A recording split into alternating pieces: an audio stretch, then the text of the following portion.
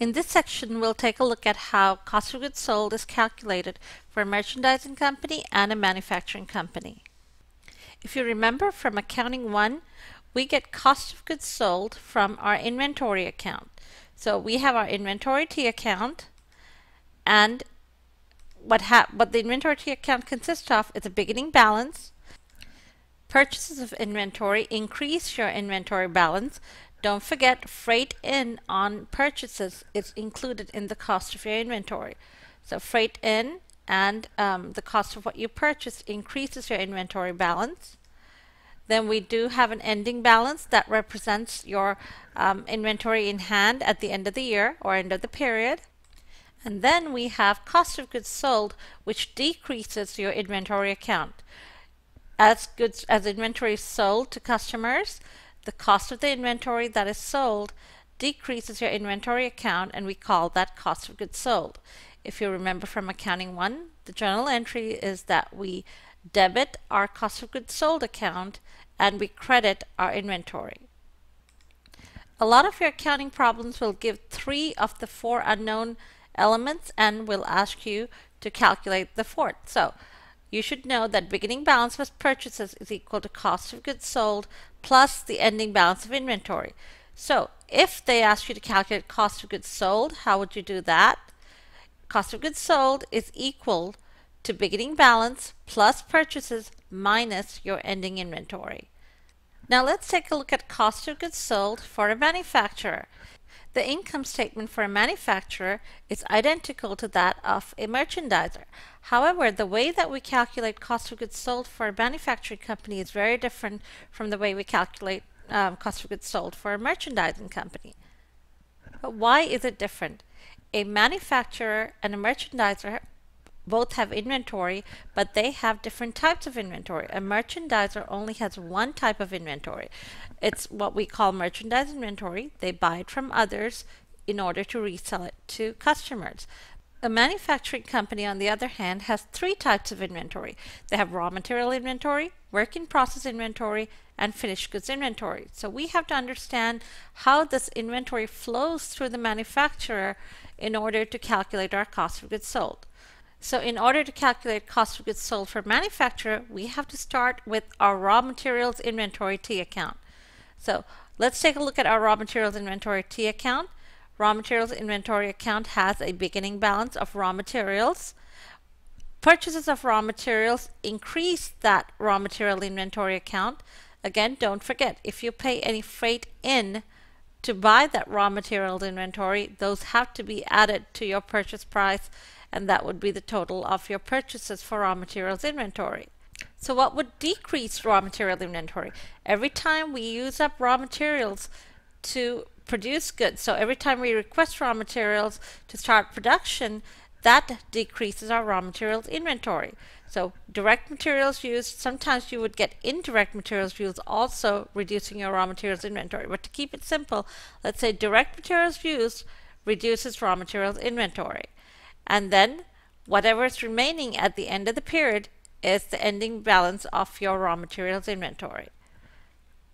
So to summarize, your raw material inventory account has a beginning balance, you add purchases to it, direct materials used up decreases inventory, and then whatever is remaining is your ending balance of raw material inventory.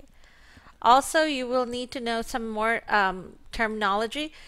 Whenever you look at beginning balance plus purchases of raw materials, we would call that materials available for use. Now let's look at the direct materials used. Where do those go?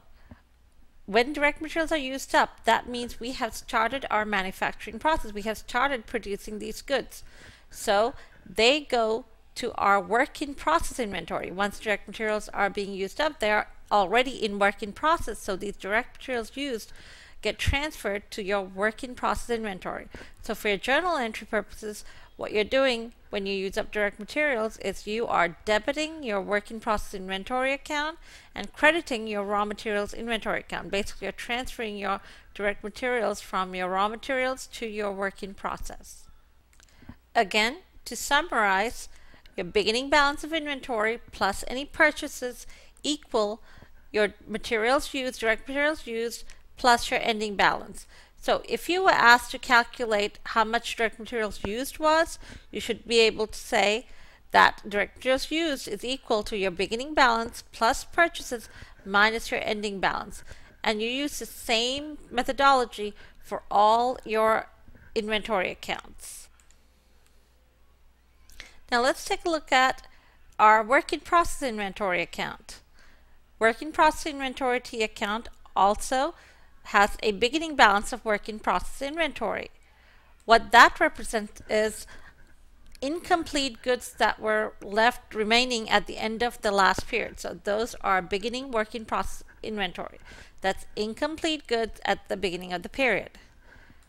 Whatever you start into production has three components. You have direct materials that you use. Remember this came from your uh, raw materials inventory account to direct materials, what do you add? You add labor costs. So you have to work on those materials. So you have direct labor costs that go into your work in process inventory account. You also have manufacturing overhead. The cost of electricity, utilities, rent, depreciation, all that increases your work in process inventory as you keep manufacturing those products. So direct materials, direct labor, and manufacturing overhead increased your work in process inventory. What decreases your work in process inventory? Whenever you're done with the product, when you've completely manufactured the product and it's finished, what happens? It gets transferred out to your finished goods inventory, waiting for it to be sold. So the cost of goods manufactured reduces your work in process inventory and it gets transferred out to finished goods inventory. Whatever is remaining on the account is your ending work in process inventory, and that represents the value of incomplete goods. They have some direct materials, some direct labor, and some manufacturing overhead components. So ending work in process again represents incomplete goods at the end of the accounting period.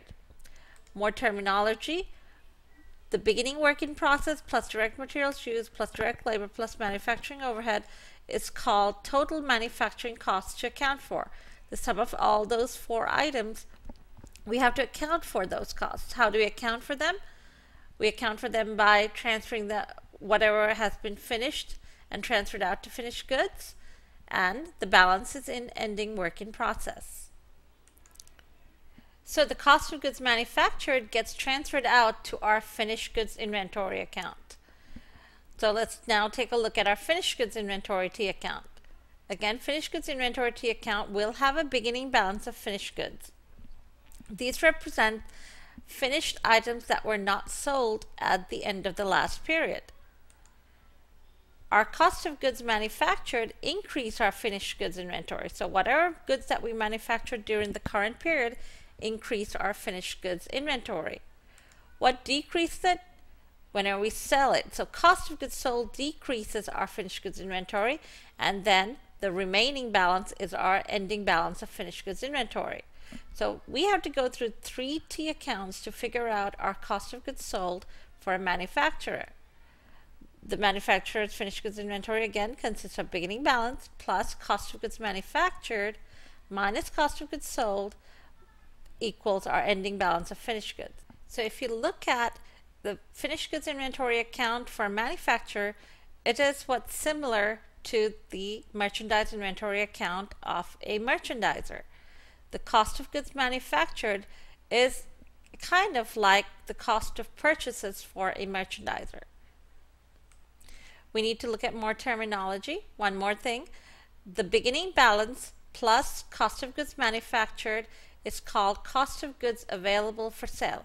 Again, your beginning balance of finished goods inventory plus cost of goods manufactured is sometimes called cost of goods available for sale.